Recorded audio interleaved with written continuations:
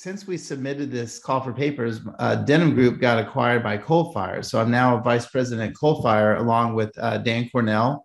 If you heard him earlier in the day, so Dan and I were the two two of the principals that came over as part of that acquisition. Uh, the other thing is, uh, I'm proud to say that uh, Dan and I were, I think, at the first real big OWASP meeting in New York. I want to say 2005 ish with Mark Curphey and Jeff Williams and all those. So we've been, I mean, serial volunteers for OWASP for a decade plus and friends with people all over the world, including OWASP folks. So we'll get started here if you don't mind. I'll jump in. And oh, great, thank you. Uh, so, so interesting story here is uh, probably about a month or two into the pandemic last year. Uh, we're trying to find interesting things to do. We just rolled off of RSA, which was pretty shaky, and you know, the pandemic became real.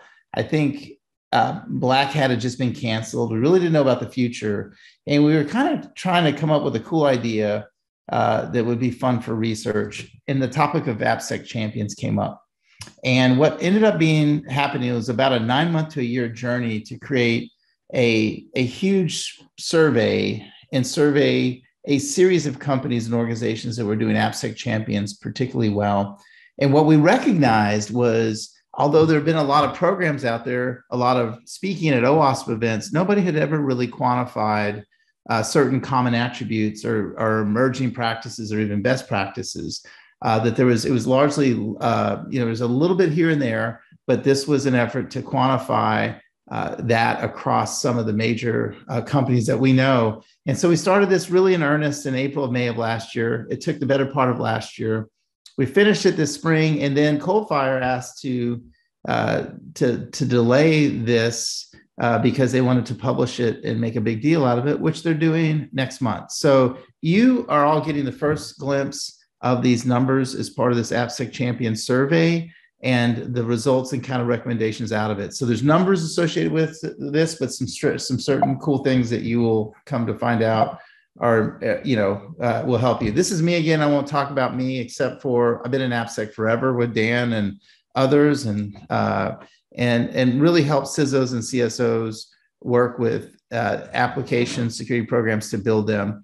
Uh, and so part of this idea about this survey came out of that, that we noticed that there was these champion programs everywhere. You know, I think the one of the first ones was uh, what Brad Arkin did way back at Adobe with the ninjas. And so we started to see these things come up in different ways.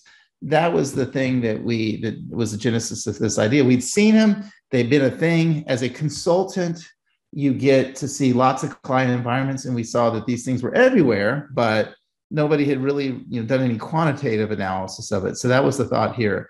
So given the limitation of time i'm going to try to blast through this. I won't do any justice to it uh, numbers wise but again i am uh, publishing the numbers uh, this next month which is really just i guess a week from now now so we're coming that's coming up. I'll talk about the i'll give you a, a sense of what we did to for the survey itself the questions specific questions the results and then allow, allow some time to formulate questions in the Slack. So because the way the format is, it won't be interactive. It will be interactive on Slack. I'll try to take the time that I have uh, to go through this in, in, a meaningful way.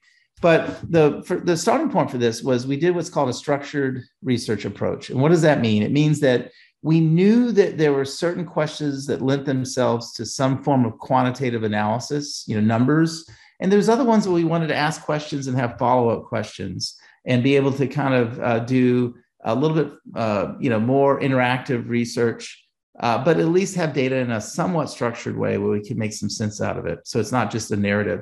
So it looked less like a, a survey monkey uh, form, and it looked a little bit more like a focus group, is what we started to say. And of course, I had to go and ask people for time during the first few months of a pandemic where everyone had an excuse not to do this. So this was all done via Zoom, and it uh, ended up being, you know, like I said, a, a, an exercise, a labor of love, but also an exercise in learning a bunch about uh, surveys. Uh, my background is a, I'm a political science as an undergraduate, an MBA type, so I'm used to, uh, you know, doing quantitative research around surveys. That's a little bit of background. I'm an AppSec guy. So our goal was to capture best practices, or probably better said, emerging practices? What are the commonalities across programs? What were the kind of things that jumped out? And again, we started with some hypotheses um, and, and based upon anecdote. And, and the joke is if you have two anecdotes, you have data, you know. So we kind of came from that and had fairly modest expectations going in. We also wanted to identify some of the common challenges and attributes, you know, around uh, these programs uh, including the environments. So, like, you know, given this transition from a very much on prem and kind of web app world to a, a, much more different application world, what were what were what were what were the developers practicing or building, and what were the AppSec people uh, trying to measure? So, what we did is we worked with uh, a series of companies and I had to, you know, target the folks. So anybody that was a program owner, self-identified as an AppSec person, you know, or security architect that did application security. Uh, I didn't really interview, uh, you know, trainers per se, or network folks, or CISOs. It was people that were, you know, OWASPs, SMEs, OWASP folks, uh, folks that knew and had worked with or started application security champions programs within the organization. So a fairly narrow universe. And we focused on that group. And what I ended up doing is I, you know, first of all, I had to sell them on participation. And believe it or not, in this day and age, about a third of the companies we talked to said, look, I'm either precluded from doing it, my boss doesn't support it, don't care, we're in a pandemic, can't share information. So, I mean, this was a, a the recruitment of people to participate and the level of effort was actually quite uh, ambitious. We ended up doing two or three interviews, one to sell them on the idea, secondly, to gather data validate data. And the value that for them to participate was uh, comparative data uh, that we could say, well, look, this is where what you responded to, and this is where everybody else came in. So there's a little bit of that. Think of SAMM or BSIMM as examples, but just in this narrow scope of, of uh, champions. And the uh, the result is this report and the data uh, that's coming out next month. So again, labor of love. It took uh, the better part of, well, now over a year, uh, given the embargo and all that in the pandemic, but it's pretty cool stuff. And I think will also be a, a launching off point for further analysis and hopefully inspire others.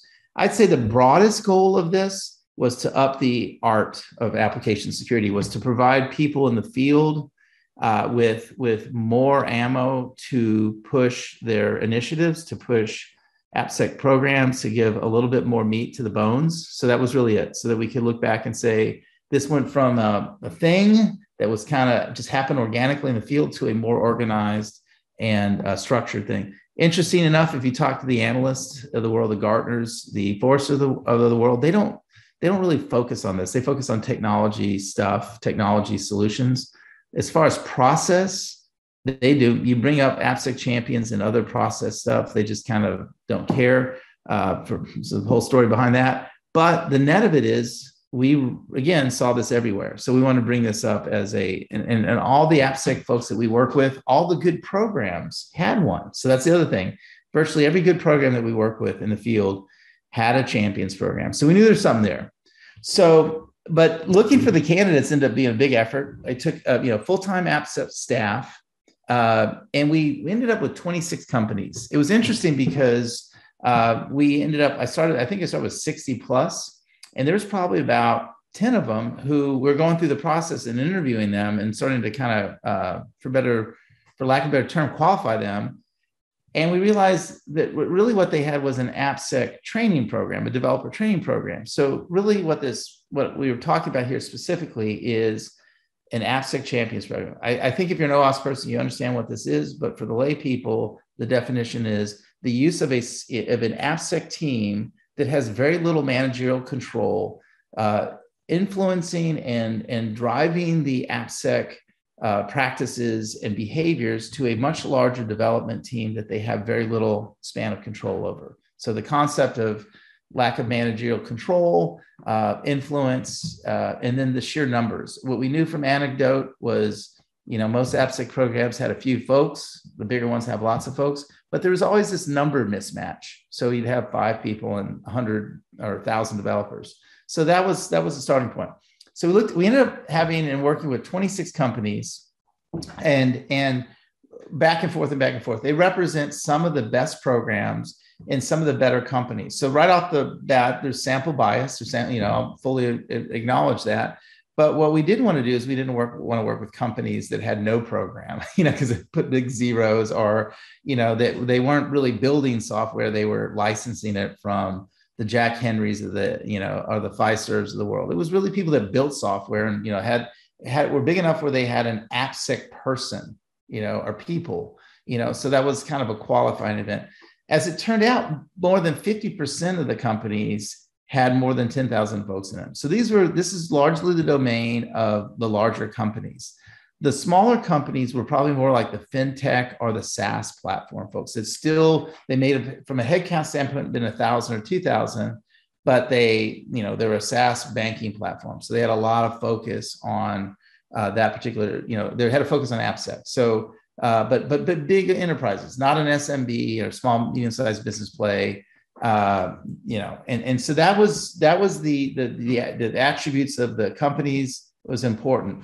So the questions themselves, and I had I think at one point about twenty plus questions, uh, and I and some of which uh, most of them followed the hypothesis. Some of them uh, were interesting. Others ones were uninteresting. I'll, I'll talk to the results. But the first thing I wanted to uh, determine what you know a little bit of organizational background because I could infer certain things about the attributes of the program based on the background, and then some trade-offs uh, around sophistication and around uh, you know practices. So the first thing I looked at is I just asked basic questions. You know, how many devs do you have? How many AppSec full-time AppSec people do you have? Regardless if they're FTEs, like uh, you know contractors. I don't care. I just want to know how many that are functioning in that role. And there's some discretion there of, of collection, and we kind of went back and forth on that and then kind of how many AppSec champions, you know, and and the the primary inputs for that were ended up being uninteresting, but the derivation and the results from uh, comparing those became more interesting. I'll talk about that. The maturity as self-identified along a, a broad CMMI inspired scale, you know, kind of the environments versus, you know, cloud, how many of them had pipelines, you know, some of this stuff was to to grab, gather information broadly, and then from there look at trend lines, see if any uh, key findings came out. And, and as luck would have it, some did. Uh, how long did it take these AppSec managers or these security managers to build the programs, and how long had they been in place? What were the attributes of the program? What kind of mandate did they have? Did they have training? How formalized was it? Did they have incentives? How did they recruit uh, champions?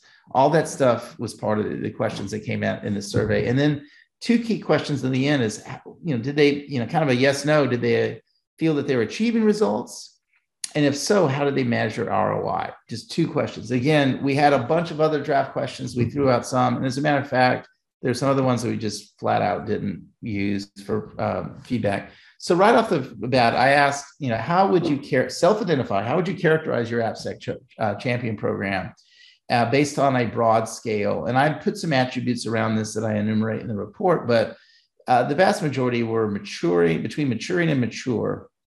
Um, there were a few that were just getting started that said they were emerging. Um, there were a couple that were up at the improving area, no, no optimizing.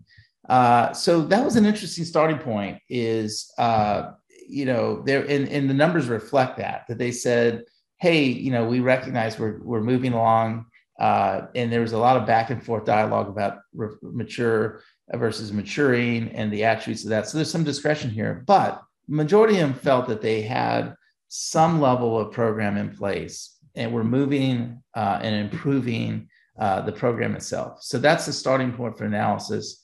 Uh, and in the report itself, I kind of break out a little bit of the different attributes of that. So here's one of the things that came out uh, that is initially uninteresting, but then the the derivation uh, secondary analysis was interesting. First of all, you know how many developers do you have? Like on average, 1,600, a number that doesn't mean a whole lot because samples all over the place.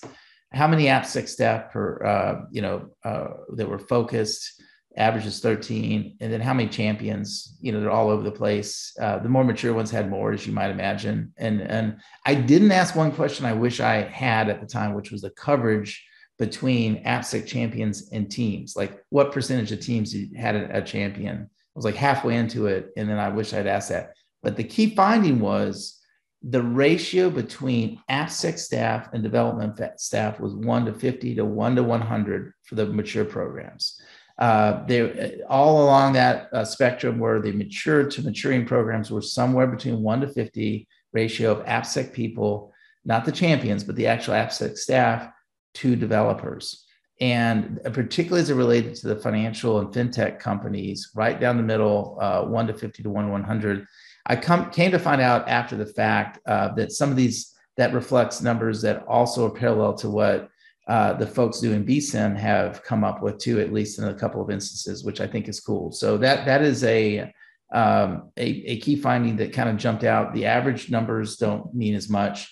Um, I looked at other things to infer in sophistication around tool and pipeline usage. Uh, all this stuff is is enumerated in the report, but in a long story made short is the vast, you know, the majority of them were using pipelines or trending to use pipelines. Um, almost all of them said we're going down that path. You know, very few were doing old school dev, as, as you might imagine. Um, and what percent were hosted in the cloud? Uh, 30% said over 90% were. And the interesting thing on both, the, the, the, the, the lines were a little bit blurred there, distorted by the fact that uh, I had two or three of the very largest uh, uh financial services and banks that reported they're all on prem, uh, which is uh, for the big banks a thing absent of at least one big bank who is uh, you know primarily in, in aws a lot of them still are on prem so that's interesting. Um, so here's one that jumped out as a big one. Um, so i asked a question about how many people you know what how many of y'all had SAST or DAST or sca or what you know and what i found out is almost all of the mature and virtually all the maturing ones had all three SAST, DAST, and software composition analysis in place which there's, you know, I heard Chris Wysopal's speech, you know, talk about at least two. I also heard Etan's uh, presentation from um, HCL. So there's a common theme here, you know, multiple tools, uh, correlation. And I think Gartner also says at least use two tools. Well, guess what? Uh, the most mature ones used all three of those uh, as part of their testing program. And I thought that was a, a cool thing that I didn't anticipate.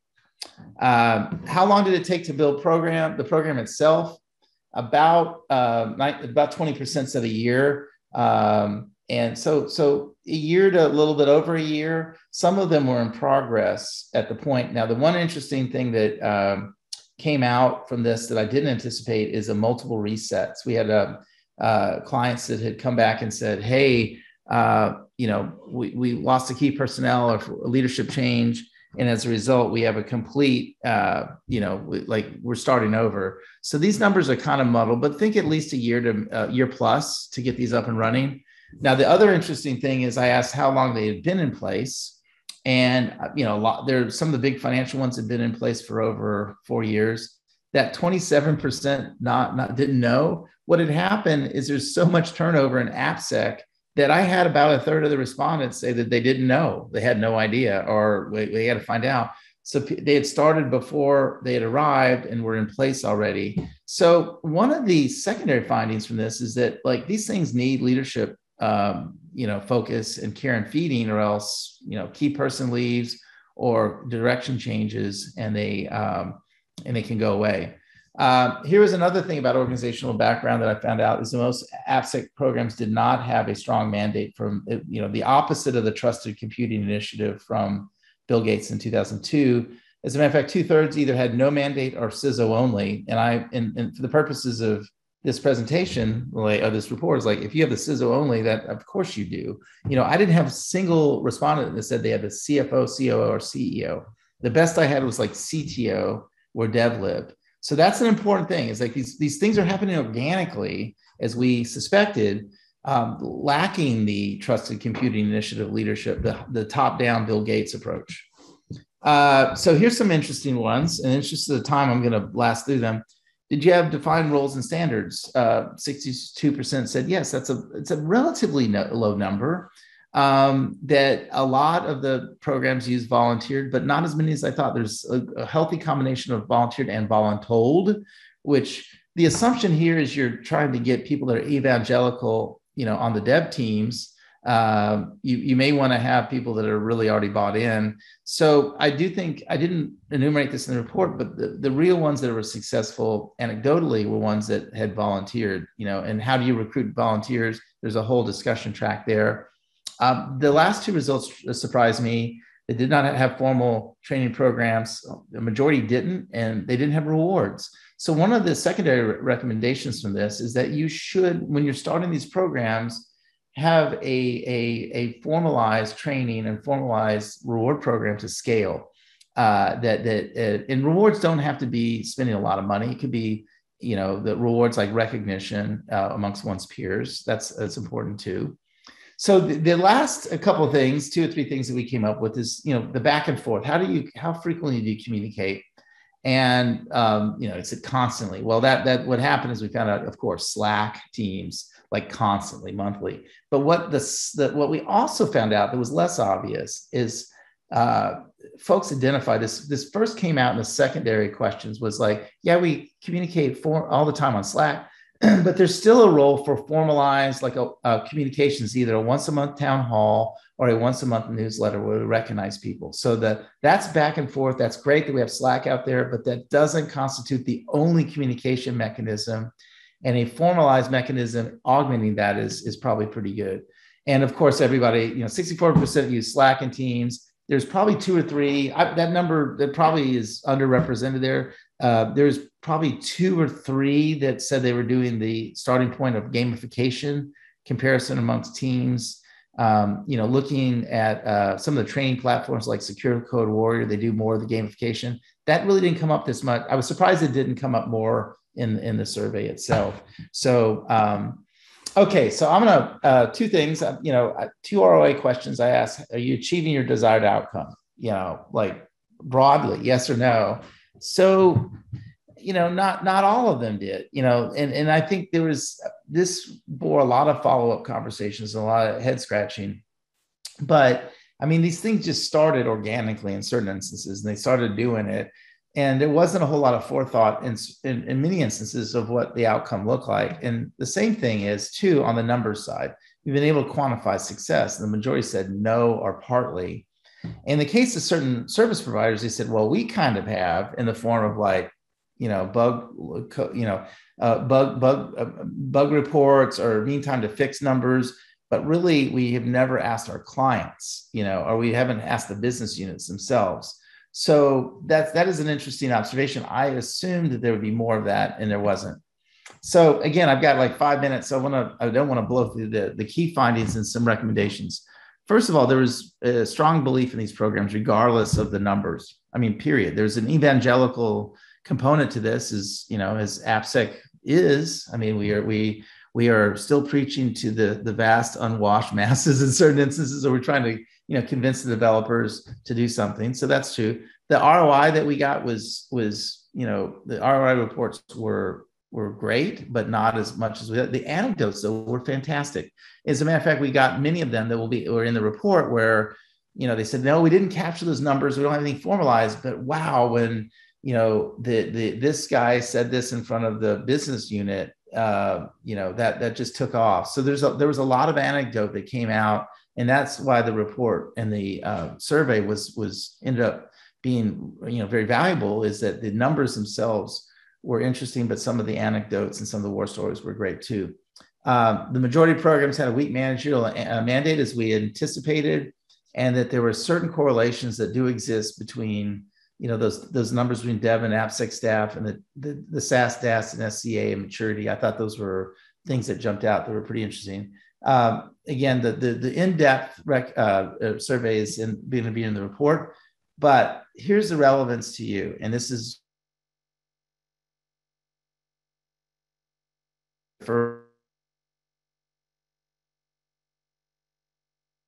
from an intel push is like like as a manager you have to not do one for one work. Uh, you have to do all these other things uh, and make oh let me go back um, and and make and, and and influence others and influence group. This is absolutely the case with AppSec champions. Again a handful of uh, AppSec people trying to influence thousands of developers um, comparative data around surveys is important in general, comparing from your peers using uh, like FSISAC or SAMM or BSIMM or whatever. Anything that you can do to compare is important. Uh, but in order to gain that managerial leverage, you do need to capture and formalize some of these the things around training and around ROI numbers. You can't do word of mouth or uh, you know you just can't do the standard way that you know uh, tribal knowledge. You actually have to have things laid out, uh, training materials in order to scale. So in order to get scale leverage, you have to do that. And finally, um, you know, we'll know when we're successful when when the developers themselves start to view uh, security or or whatever you want to call it resiliency as a as a component of code quality where there's no longer this this confrontational deal they've just essentially like ui ux or other aspects and facets of development it's just a concept of quality that they pull in and we're coaching and validating and doing whatever we're not central to that so uh, that is the end of the prezzo i think i hit it right close to the end of the hour um, that's my uh, Twitter handle. Uh, and if you're interested in the report, initial report, I'm, I'm doing the final uh, edits. It'll be out in October. And when I say October, I don't mean like four days from now or next week. I mean like like probably October, October.